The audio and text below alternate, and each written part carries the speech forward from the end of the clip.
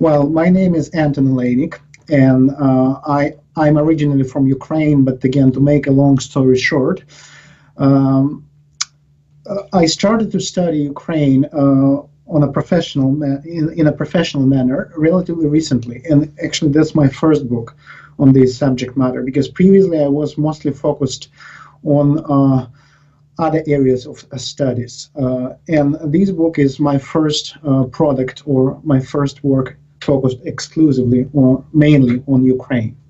So the starting point again was uh, what happened in Ukraine in 2013, 2014, because it looked uh, non-similar to what we observed previously in Ukraine and in other countries. It means large-scale bottom-up mobilization with very few input from above and that what uh, was particularly appealing to me because one of the uh, authors who also wrote about uh, the revolution of dignity Andrew Wilson, at some point, he even compared uh, the events of 2013 2014 with old fashioned European revolution that, uh, for example, happened in France in the, in the 1917, 1918 century.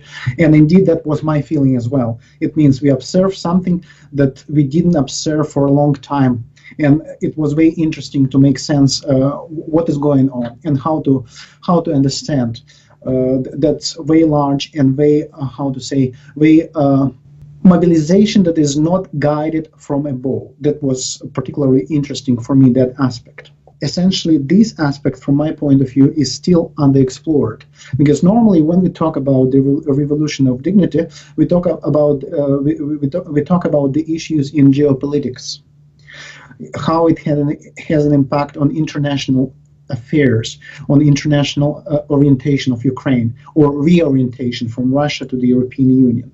But there is, as, uh, there is an aspect that is even more interesting from my point of view. It means how these events impacted the life of everyday life of society, and uh, that uh, rebirth of Ukrainian nation. Uh, let's put it in, in that way, because that's even more important than European or Russian orientation or geopolitical orientation in general. In addition to what you said, it means the quality of experts or expert opinion on, on Ukraine. Well, the problem is deeper because so called Ukrainian studies, compared with Russian studies, they are underfunded and they're not um, that developed uh, as uh, other branches of post-Soviet studies. And that's exactly one of the points I'm trying to develop in, in the book. I'm trying to argue that uh, while we overlooked, we have overlooked for a long time Ukrainian studies, and as a result, uh, we don't understand what is going on in that country as a result of that uh, long-term neglect of Ukrainian studies. Uh, the other reason for me, back to your question, is that um, initially Ukraine was not that different and probably from, for example, Russian society. And that neglect probably had some uh, rationale behind it.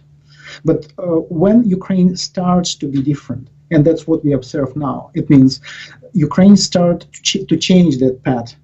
And that's exactly what we need to study how to make sense of that very profound change and not a, change that doesn't stay at the level of geopolitical uh, orientation, but it's much deeper. It means, first of all, it's social changes, or uh, what we observed uh, the, that rebirth of volunteer movement. Volunteer movement in Ukraine has absolutely no parallel in the post-Soviet societies. And again, there is no explanation why it happened and how to preserve that, because it's something very precious uh, that they were able to uh, to give birth to uh, that strong and that mass ma- that mass volunteer movement. And again, to help them, we need to study that because uh, uh, again one of the aspects that i'm trying to address in, the book is that ukraine itself is not very interested in itself. Let's let's put in, in, in that. It means the intellectual the intellectual life or intellectual efforts to understand what is going on are insufficient even within ukraine. Because there is some kind of expectation that answers are known in the west or answers will be given at some point what happened to us or what we need to do next. But that's not true, exactly because there are so few parallels with what we observed in Ukraine and what we are still observing in Ukraine. So that's why it's uh, uh, also efforts from inside or from, from, from within that, uh, that we need to promote, also intellectual efforts. Well, lesson of history is important exactly because uh, when we talk about the Ukrainian nation state, it uh, has been mostly uh, at the level of a project. It means what is to be built, but that a project that has not been achieved yet. So that's why it's important to see why it wasn't achieved and why the history of Ukraine as a nation state is so short in historical terms. Because the message of that chapter is exactly to show that uh, uh, the history of Ukraine as a nation state is very short. And um, for most of its history, Ukraine was a part of various empires, or it was uh, included in some other geopolitical entities Russian Empire or uh, Lithuanian uh, Polish Commonwealth, and so forth. But as a separate entity, Ukraine didn't exist for a very long period of time. And uh, uh, the, the, the, rationale or the reason for uh, investing that heavily, what I mean by investing that heavily, I'm not a professional historian. And for me, it was just to start it from scratch. It means to read all that body of literature. For example, I needed to read all nine volumes or Grushevsky, which is rare because not all these volumes are even translated into English. Only a few volumes are translated into English. I'm not speaking about short versions of his history. I'm talking about nine volumes. And it took for me at least four or five months well to carefully study all these nine volumes. And I'm not pretending or I'm not positioning myself uh, as a historian, but it was necessary. And I'm, I'm glad that I did that because now I, I understand much better.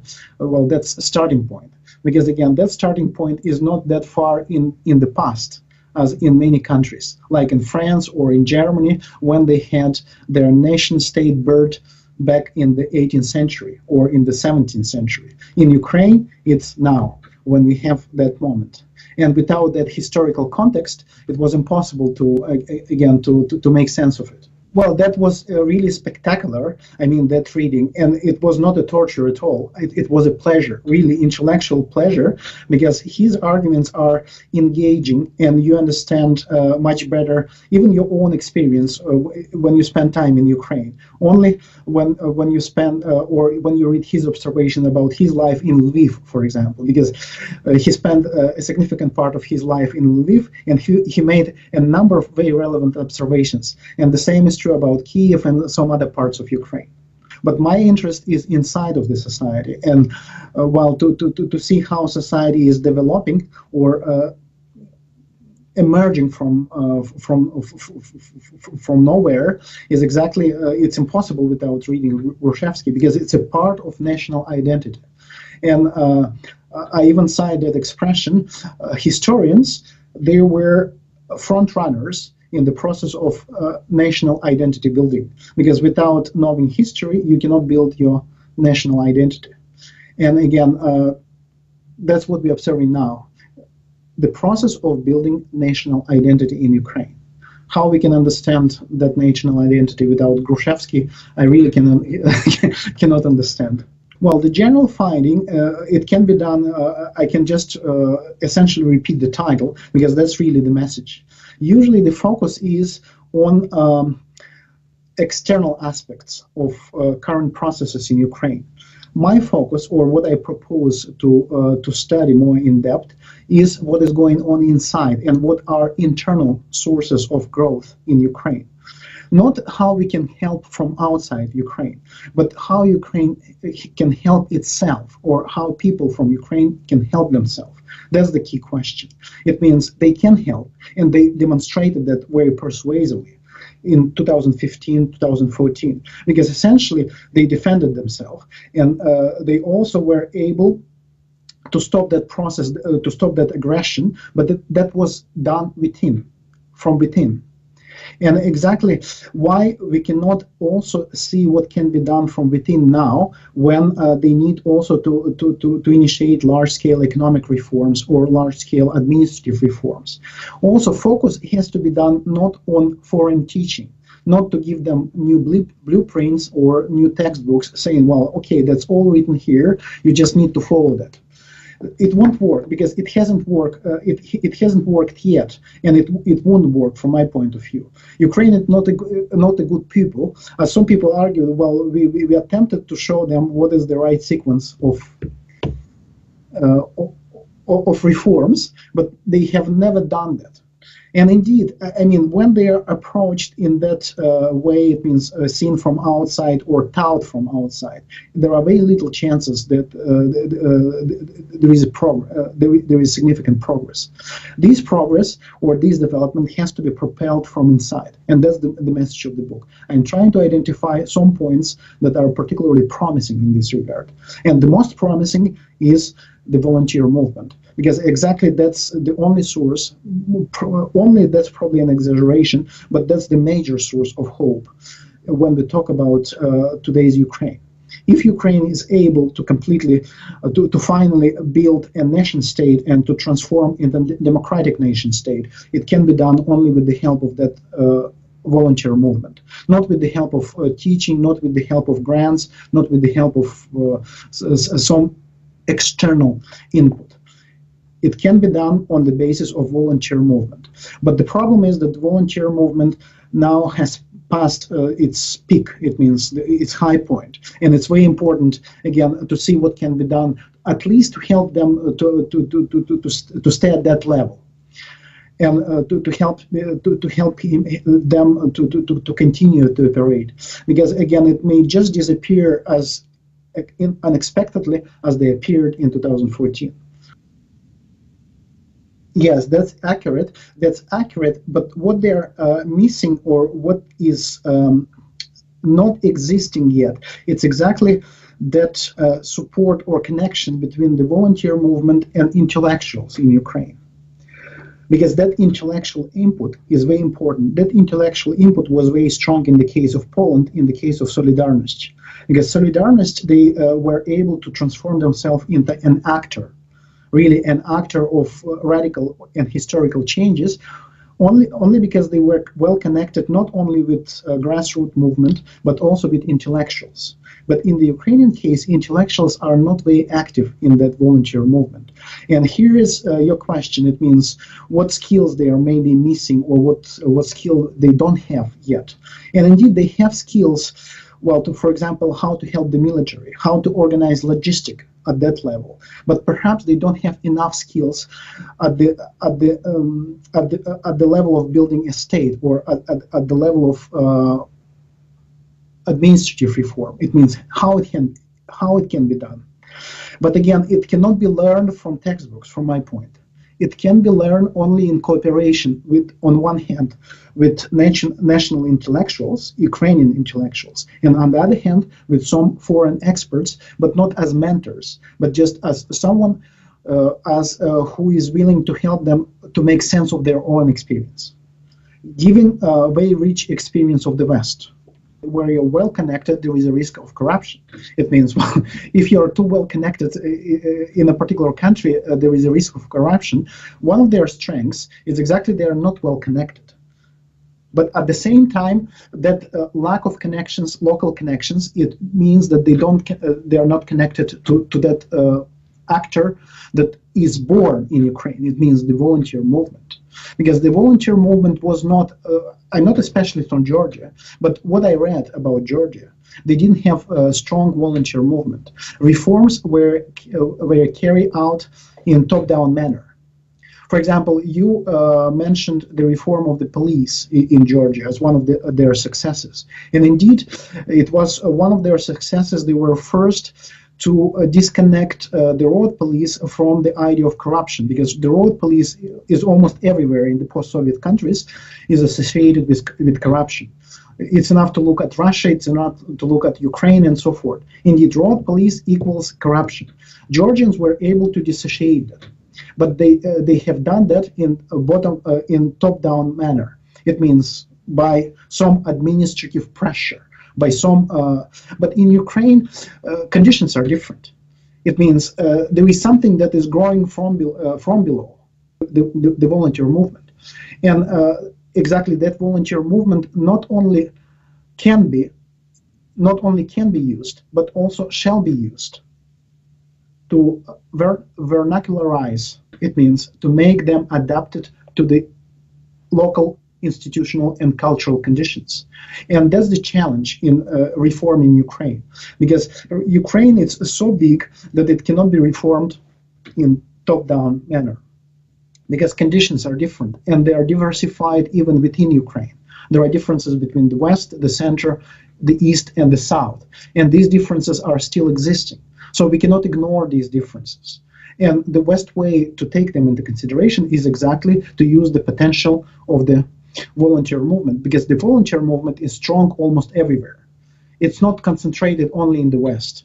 Uh, many people expected that the volunteer movement would would be strong only in the West because they have they have a history of volunteer movement, like self-help movement in the past and so forth. But now volunteer movement is even stronger in central Ukraine than in the West and that's again uh, that's that's again something that we need to explain that uh, something that we need to make sense of. Well i, I was uh, surprised by uh, by a few things indeed. One of the things uh, and i uh, put it forward before was rather low profile kept by ukrainian intellectuals in all that process. It means instead of trying to get connected to the volunteer movement or at least to uh, well to, to, to be associated with uh, with that movement. From my point of view, it's still disconnected, and that's a major omission because without connection between the volunteer movement and intellectuals, there is no, uh, there are not many chances for, for, success. Back to your question, it means what kind of skills they're mi missing, what what kind of uh, skills they don't have.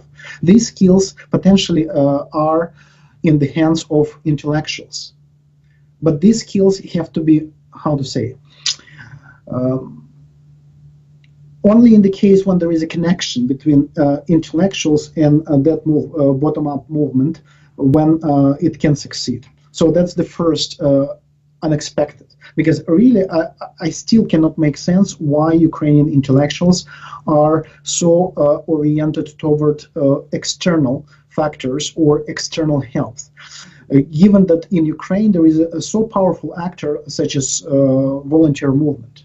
Why they don't work with volunteer movement? Why they don't uh, engage with volunteer movement? So that was the first unexpected um, result. And the second unexpected uh, outcome uh, related to the first one is that uh, essentially um, there is no public debate in Ukraine, properly speaking. It means, well, obviously there are some space for exchanging ideas. Uh, internet is one of them. Uh, but uh, if we compare with Poland in the 80s or in the 90s, there is no strongly developed space for public debates for uh, discussing matters that are important for Ukraine now. Let me give you just one example. You probably heard about uh, the draft law uh, Buy Ukrainian uh, Buy Ukrainian, it means is their attempt to protect the national market and to make national producers more competitive, at least how they frame that draft law.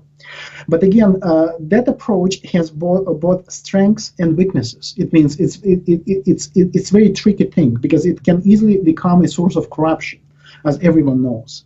It means when we uh, when we go that uh, when, when when we go down that road, and the point is that there is not uh, not much discussion of all pros and cons of that uh, draft law because from my point of view it's something necessary. It's something that ukrainian uh, ukraine uh, ukraine need. And uh, in in the chapter of my book i uh, not necessarily i propose something like that but certainly i consider options that are close to that idea of the draft law by by ukrainians but at the same time, again, without discussion, without discussion of what can prevent from making this a success, it won't be a success. It will be a, an additional source of corruption. It means we uh, they need it's it, it's not even our duty to discuss that law. It's first of all the, uh, the, the duty of Ukrainian economists to discuss it, to discuss what are drawbacks, what are advantages and disadvantages of that uh, proposal. But there is not much discussion. There is just a criticism of that law from the, uh, from the part of the liberal economists, and uh, not much, at least I didn't see much arguments, uh, more or less coherent, in favor of that law.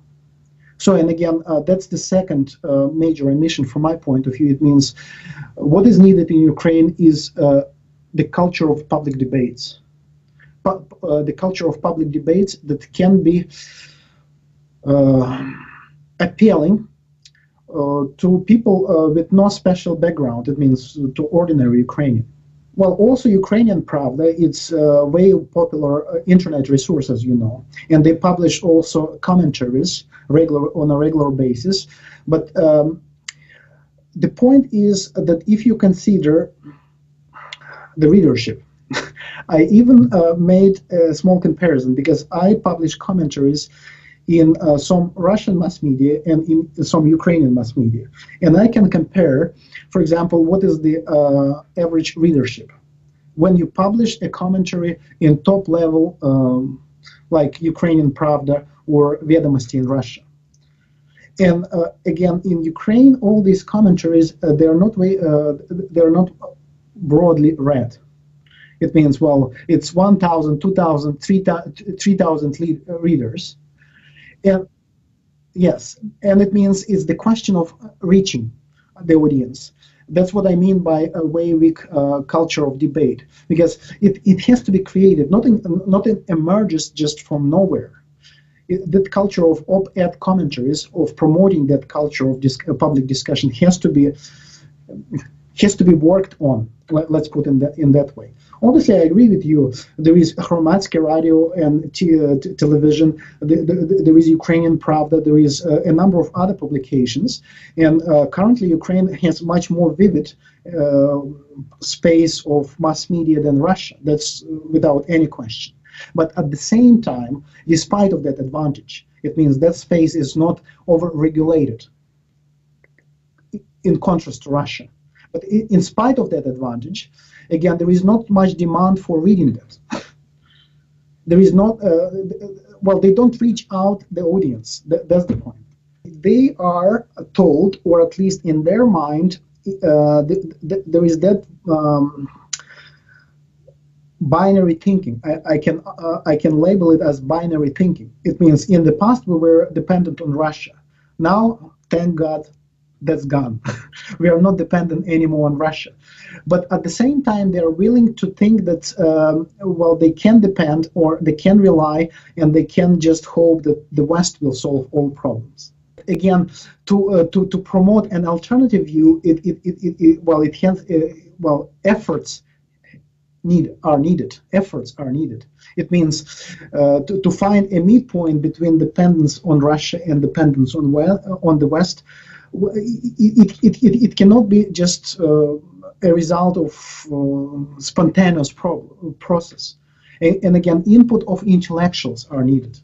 But intellectuals, they are too, from my point of view, they are too, I wouldn't say naive because probably that word is not appropriate, but uh, they don't see um, that third alternative that Ukraine can and shall be built from within it's very interesting. And from my point of view, it's one of the subjects that has to be studied soon because it's uh, one of the missing points or one of the missing elements in uh, potential success story of Ukraine. I mean, uh, that connection between uh, intellectuals and grassroots movement. But I have an explanation, at least tentative explanation. Uh, in the past, all bright Ukrainians, where they were studying, well, certainly not in Kiev. They were going to Moscow because in Moscow, while universities were better and uh, they were offered good conditions and so forth. Now, uh, bright Ukrainians, what they're doing, they're going to study in the West. And again, uh, that creates that mindset that we are oriented either in that way or in the other way.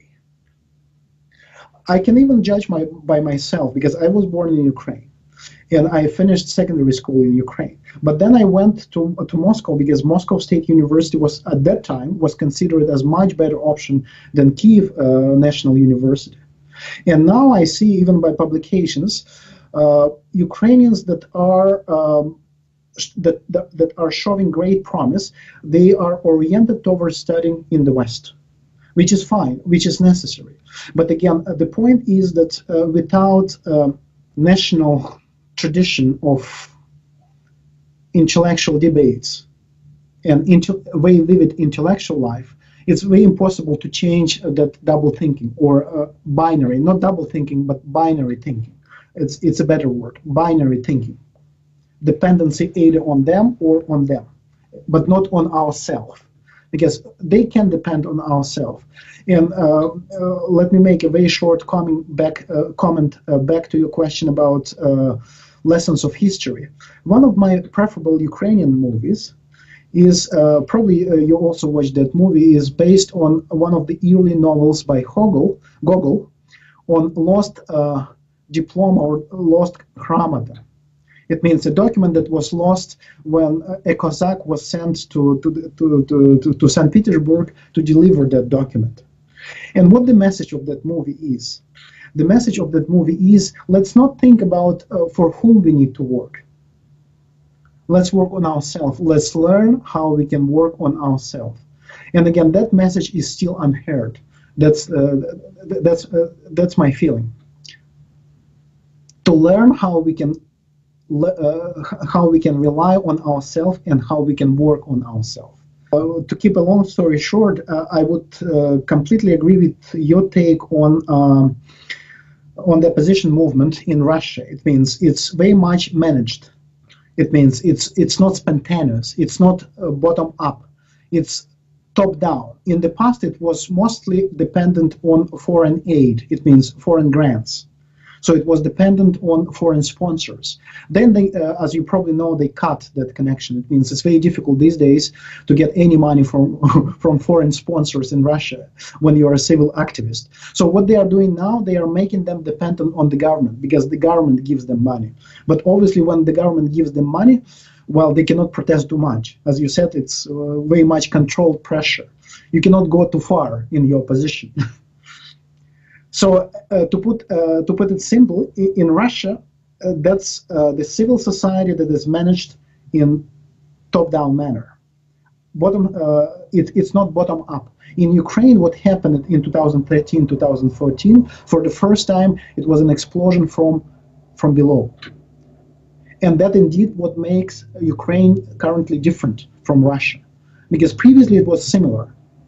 Unfortunately, it was too, too, too way too similar among Russian intellectuals, and I also keep uh, an, uh, an eye on what's going on in, Ru- in Russia, uh, they consider uh, uh, what's going on in, in Ukraine uh, with, with, with, a kind of sympathy. But for them, especially for liber- Russian liberals, the reason is not because Ukraine was able finally to do something in a bottom up manner for them, uh, the, uh, the, the, the, pattern or what uh, the model of Ukraine is attractive for, for, for the other reason, because they see that Ukraine has a chance to implement liberal blueprints or uh, to, to well to, to, to move to, to make a radical move toward Europe or to, to, to some Western models of uh, liberalism. So that's uh, that's the explanation of their sympathy. And they still consider Ukraine with sympathy because for them, Ukraine uh, has better chances to implement liberal models. But again, for, uh, for me, there is a better difference between Russia and Ukraine. And this better difference is exactly that grassroots movement, grassroots initiatives. And that's something that is not quite appreciated or even not quite understood in Russia that it's so huge, it's so uh, so active, and it's uh, at some point, and it's even in my book, I calculated uh, the uh, contribution of uh, volunteers in Ukraine to uh, GDP. And compared it with contribution of volunteers in Canada, you, you, you would be surprised, but because Canada is considered as a front runner, it means Canada is considered as having one of the strongest civil societies or volunteer movements. And in Canada, it's about 0.5% of G- GDP that uh, people contribute to volunteer initiatives.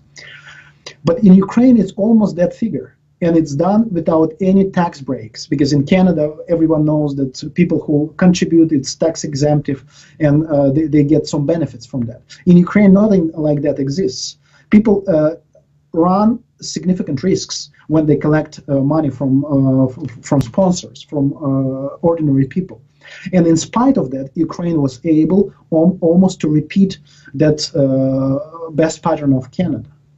And again, uh, that aspect, it means that explosion of bottom up initiatives is not quite appreciated, is not quite understood in Russia. If Russians consider Ukraine with sympathy, that's because they believe that Ukraine can move better or closer to, uh, to the ideal of liberalism. But there is a deeper difference or better difference from, from, from my point of view. And that better difference is exactly uh, ability of, uh, of Ukrainian society to produce the, the true volunteer movement. The major conclusion is that uh, in spite of all these events uh, and in spite of all promise that is, these events showed, it's still not clear cut what would be the situation in Ukraine in one in, in a few years from now, because it can go anyway. And unfortunately, there is no guarantee that the volunteer movement can maintain the same level of activism, the same level of public support as it was maintaining uh, recently. So that's why it's crucial. Uh, now it's really a crucial moment because if uh, uh, it's gone, it means if that voluntarism is gone, it would be very difficult to repeat the same level of mobilization in the future because people will think that okay we did it but we didn't achieve anything serious or at least we, we produced the same the same kind of problems. We run in the same kind of problems as, before. So why to do it again?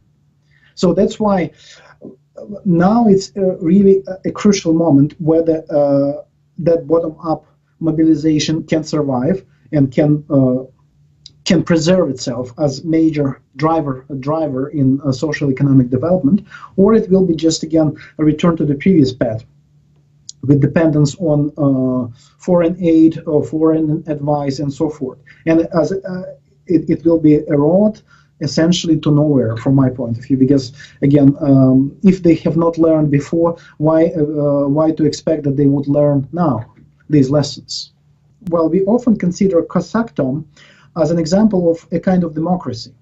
Well, and indeed they have uh, they, they had many elements of democracy in their internal organization because everything was uh, elected, uh, while um, uh, the heads, uh, starshina, were able to, to be ousted if they were not performing well and so forth. But all that was exactly in uh, at the level of spontaneous protests.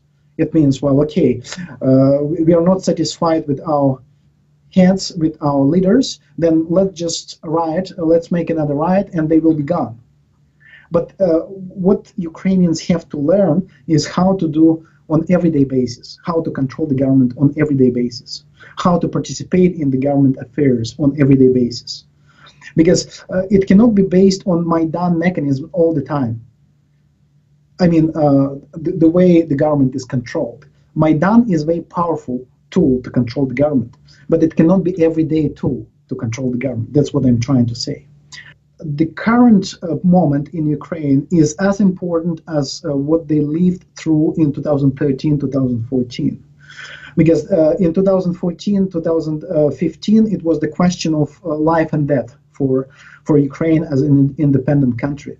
But it's still the question of life and death. Because if uh, the volunteer movement is not able to sustain, is not able to learn how to control the government on everyday ba- basis, unfortunately, it would be a return to the previous pattern. And then again, it, it, it would mean that uh, all these sacrifices that Ukraine made recently, they were uh, not necessarily well warranted and that's uh, that would uh, that would be very sad because again the chance that Ukraine uh, get currently or still has currently. It's very precious. It means to build a, sa- a safe, sustainable, democratic nation state, not dependent on foreign forces. It doesn't mean that Ukraine doesn't need to make alliances, uh, make unions with the European Union, with the United States, with Canada, and so forth. It's all not excluded. But first, Ukraine has to learn how to be self sustainable, how to, uh, to rely on, on its own forces how to rely on its own resources economic, democratic, uh, cultural, and even uh, intellectual, especially intellectual, because that's one of the problems from my point of view. Inability to rely on its their own intellectual resources. Well, you know, one of my uh, sources of inspiration, not direct inspiration, uh, because he, uh, this person has never wrote about Ukraine or even about Russia, uh, but uh, I'm talking about Hernando de Soto. Have you heard uh, this? Th does it ring a bell for you? So this is a, a South American Peruvian economist and political scientist and civil leader as well. And his message is that all these advisors they are useful only to the extent that they help people to learn their own experience. It means uh, they show them how strong they are when they rely on themselves in all senses, in economic sense, in uh, social sense, in political sense, and so forth. And again, it's not about giving any lessons or uh, not giving any remedies to uh, to anyone is just to suggest that you need to look for these remedies on your own. And what can help is uh, the way you learn about your own strengths, where to look for your strengths, in other words. And from my point of view, uh, the, the, uh, the, the, beauty of Ukraine today is the volunteer movement. And that's where we need to look for inspiration. And when uh, that's where they need to look for solutions. Look what they have done and let's learn from them. Not uh, not le- uh, not learn from uh, textbooks, but let's learn how they did it. Thank you for having me, uh, William, and uh, thank you for having this discussion. Uh, much appreciated. Thank you. Th- thank you, sir.